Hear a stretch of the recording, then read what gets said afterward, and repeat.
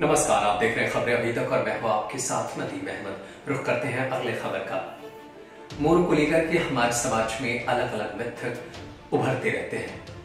कई लोग मानते हैं कि मोर संभोग नहीं करते हैं। ऐसा ही बयान दिए थे राजस्थान की उच्च न्यायालय के न्यायाधीश रहे जस्टिस शर्मा। जस्टिस शर्मा ने अपने आखिरी दिनों में एक बयान दिया था और कहा था कि मोर आजीवन ब्रह्मचारी रहते हैं। वो कभी संभोग नहीं करते। लेकिन उनके इस दाव पर अब पूरी तरीके से खारिज कर दिया है देश के जाने माने विशेषज्ञों ने पंच पक्षी विशेषज्ञों ने, जिनका मानना है कि मोर संभोग करते हैं। हुआ ऐसे कि जब जस्टिस शर्मा अपने आखिरी दिनों में पत्रकारों से बातचीत कर रहे थे तो उन्होंने पत्रकारों से कहा था कि मोर आजीवन संभोग नहीं करते, वो सदा ब्रह्मचारी रहते हैं। इसके साथ ही उन्होंने कहा था कि इसीलिए भगवान श्री कृष्ण मोर के पंख को अपने ताज पर लगाते थे क्योंकि मोर सदा जीवन संत की तरह रहते हैं। लेकिन इन बातों को, इन दावों को खारिज कर दिया गया है। वैज्ञानिकों का मानना है कि मोर भी संभोग करते हैं, वो भी अपने पार्टनर के साथ संभोग करते हैं। लेकिन ये चंद सेकंड का होता है, इसलिए वैज्ञानिकों को या विशेषज्ञों को इसके बारे में जानकारी उपलब्ध नहीं होती है। क्या कुछ है और क्या है मोर की खासियत? और मोर से जुड़ी तमाम जानकारी के लिए देखिए ये रिपोर्ट पक्षी वैज्ञानिकों के अनुसार मोर और मोरनी में एवियन प्रजनन अंग होता है, जिसे क्लोअका कहा जाता है। इसी के माध्यम से दोनों संबंध बनाते हैं। राजस्थान उच्च न्यायालय के न्यायाधीश महेश चंद्र शर्मा मोर के ब्रह्मचार्य को लेकर दावे को भारत के पक्षी विशेषज्ञों ने खारिज कर दिया है। दरअसल बुधवार को अपने कार्यकाल के आखिरी दिन जस्टिस शर्मा ने कोर्ट के बाहर मीडिया से बातचीत में कहा कि हमने मोर को राष्ट्रीय पक्षी इसलिए घोषित किया है क्योंकि वो आजीवन ब्रह्मचारी रहता है। उसके जो आँसू निकलते हैं मोरनी उसी को चुग कर गर्भवती होती है। मोर कभी भी मोरनी के साथ सेक्स नहीं करता। इतना ही नहीं, जस्टिस शर्मा के अनुसार मोर पंख को भगवान कृष्ण ने इसलिए लगाया क्योंकि वो ब्रह्मचारी है। साधु संत भी इसलिए मोर पंख का इस्तेमाल करते हैं।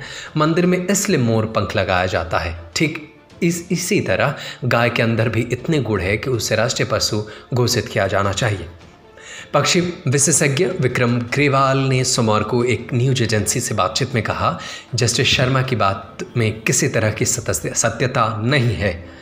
मोर सभी सामान्य पक्षियों की तरह ही प्रजनन करता है। इस तरह के बयान के पीछे किसी भी तरह का वैज्ञानिक तर्क नहीं है। यह बेहद हास्यास्पद है कि कोई इस तरह का बयान भी दे सकता है।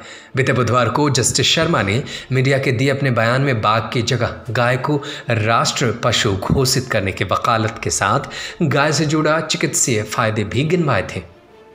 मोर के ब्रह्मचारी को लेकर के दिया गया उनका बयान काफ़ी चर्चा में रहा।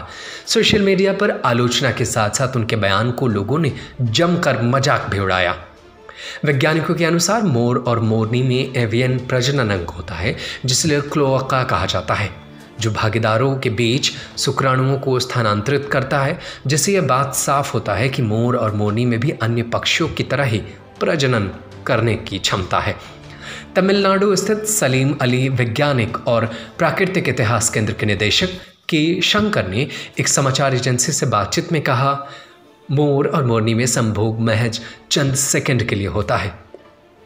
मेरे अनुसंधान के तीस वर्षों में केवल दो या तीन मौके पर ही मैंने इस तरह की घटना देखी है। मोर मोरनी के साथ संबंध बनाता है। इसके बाद ही मोरनी गर्भवती होती है। मोर के पास शुक्राणु होता है और मोरनी के पास अंडे। मोर के शुक्राणु मोरनी के क्लोअका में जाकर अंडे को निषेचित करते हैं। के शंकर आगे कहते हैं। जस्टिस शर्मा ने बताया है कि जो मिथक है, लोग सिर्फ़ मोर को नाच जानते हैं। लेकिन ये मोरनी का चुनाव होता है कि वो किस तरह मोर को संबंध बनाने के लिए चुनेगी। जो भी मोर सबसे ज़्यादा नाचता है और जिसके पंख लंबे होते हैं, मोरनी उसे ही इसके लिए चुनती है। वो कहते हैं, उनके बीच संभोग का वक्त कुछ पलों का होता है, इसलिए पक्षियों का पर शोध करने वाले इस प्रक्रिया को देख नहीं पाते हैं।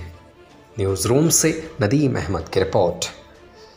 Subscribe to our YouTube channel and press the bell icon to get the latest updates.